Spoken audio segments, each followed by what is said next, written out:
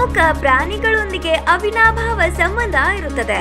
ಅದೇ ರೀತಿ ಇಲ್ಲೊಬ್ಬ ವ್ಯಕ್ತಿ ತನ್ನ ಎತ್ತುಗಳು ಕಳೆದು ಹೋಗಿದ್ದಕ್ಕೆ ಕೊಟ್ಟಿಗೆಯಲ್ಲಿ ಕಾಯುತ್ತಾ ಕುಳಿತಿದ್ದಾರೆ. ದಾವಣಗೆರೆ ಜಿಲ್ಲೆಯಲ್ಲೊಂದು ಕರುಣಾಜನಕ ಕಥೆ ನಡೆದಿದೆ. ತನ್ನ ಕಳೆದು ಹೋದ ಎತ್ತುಗಳಿಗಾಗಿ ಮಾಲೀಕ ಕಾಯುತ್ತಾ ಕೊಟ್ಟಿಗೆಯಲ್ಲಿ ಕುಳಿತಿದ್ದಾರೆ. ತನ್ನ ಎತ್ತುಗಳನ್ನ ನೆನೆದು ಭಾವುಕರಾಗಿದ್ದಾರೆ.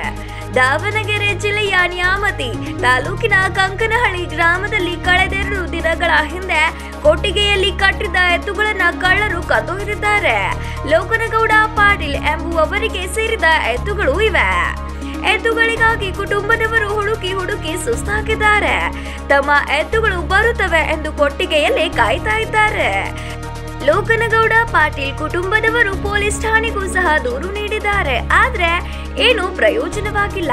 ಇನ್ನು ಎತ್ತುಗಳು ಸಿಕ್ಕಿಲ್ಲ. ಅಲ್ಲದೆ ಸಾಮಾಜಿಕ ಜಾಲತಾಣದಲ್ಲೂ ಎತ್ತುಗಳ ಫೋಟೋ ಹಾಕಿ ನಿಮಗೆ ಈ ಎತ್ತುಗಳು ಕಂಡ್ರೆ ಫೋನ್ ಮಾಡಿ ಎಂದು ಪೋಸ್ಟ್ ಹಾಕಿಕೊಂಡಿದ್ದಾರೆ. ಆದರೂ ಎತ್ತುಗಳು ಸುಳಿವು ಇಲ್ಲ. ಸುಮಾರು ಒಂದು ಪಾಯಿಂಟ್ ಐವತ್ತು ಲಕ್ಷ ಬೆಲೆ ಬಾಳುವ ಬಿಳಿ ಬಣ್ಣದ ಜೋಡಿ ಎತ್ತುಗಳು. ಅದೇ ಊರಿನವರು ಮಾಡಿರಬಹುದು ಎಂಬ ಅನುಮಾನ ಹಲವರಿಗೆ ಇದೆ. ಆದರೆ ಸಾಕ್ಷಿ ಇಲ್ಲದೆ ಸುಮ್ಮನೆ ಕೂತಿದ್ದಾರೆ. ಆದಷ್ಟು ಬೇಗ ಎತ್ತುಗಳು ಸಿಗಲಿ ಎಂದು ಕುಟುಂಬಸ್ಥರು ದೇವರಲ್ಲಿ ಮೊರೆ ಇಡುತ್ತಿದ್ದಾರೆ ಅಲ್ಲದೆ ಎತ್ತುಗಳನ್ನ ಕದ್ದೊಯ್ದ ಖದೀಮರಿಗೆ ಗ್ರಾಮಸ್ಥರು ಹಿಡಿ ಶಾಪವನ್ನ ಹಾಕುತ್ತಿದ್ದಾರೆ.